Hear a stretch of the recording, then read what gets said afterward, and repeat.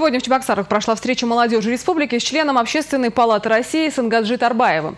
Председатель комиссии по поддержке молодежных инициатив, в прошлом капитан команды КВН «РУДН», представил проект «Диалог с прокурором». Он стартовал полтора года назад при поддержке прокурора России Юрия Чайки. Суть проекта – познакомить молодежь с деятельностью прокуратуры, чтобы молодые люди не опасались этого надзорного ведомства, а наоборот, сотрудничали. В проекте участвуют уже 15 регионов. Чувашия стала 16-м. Организаторам проекта важно, чтобы молодежь к встрече не готовилась специально. Инициаторы проекта хотят знать реальную ситуацию. На встрече члены Общественной палаты России Сангаджи Тарбаева, прокурора Чуваши Сергея Легостаева и молодежных объединений республики поднимались актуальные вопросы сегодняшнего времени. Председатель Республиканской общественной организации «Здоровая нация» Кирилл Лукин рассказал о регулярных рейдах по торговым точкам, аптечным пунктам, барам и кальянным. Это позволяет выявлять, а иногда и предупреждать нарушения в сфере незаконного оборота алкогольной продукции, наркос содержащих препаратов. Работа эта ведется вместе с представителями прокуратуры. Обсуждалось на встрече и присутствие молодежи в социальных сетях, воздействие на них негативной информации разного толка. Поднималась и проблема обеспечения жильем детей-сирот. Прокурор Чуваши взял данный вопрос под личный контроль. Сегодня обозначили на встрече ряд вопросов. Э, не мы, а ваша молодежь прежде всего. Мы это все записали. Прокурор на какие-то вопросы отреагировал очень бурно, сказал, что возьмет под личный контроль.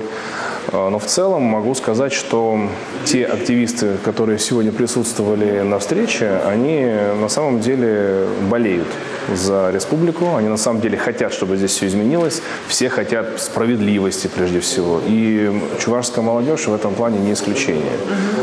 Просто э, есть регионы, в которых изначально молодежь настолько прилизана, что они э, со стеклянными глазами говорят вещи, которые в реальности их не интересуют. Они просто выполняют роль статистов. Это не про Чувашию. Чувашии мы увидели людей с живыми глазами, молодежь, которая встает и задает вопрос тот, который им интересен. И в этом, наверное, э, залог успеха, э, ну, вообще перспективы молодежи в Чувашии. Сегодня же Сангаджи Тарбаев встретился с Михаилом Игнатьевым. Они обсудили ситуацию в сфере молодежных правонарушений. Михаил Игнатьев рассказал, что в Чувашии активно борются с курением, особо подчеркнув, что работа эта пошаговая. К примеру, все главные врачи больницы, директора школ уже не курят. Большинство молодых людей занимаются спортом. Владимир озвучивал о том, что вы э, подали заявку на спортивные вот все ваши учреждения, э, о том, чтобы все э, граждане категории трудные подростки могли получать бесплатный доступ. Угу. Финансируете это из муниципального бюджета.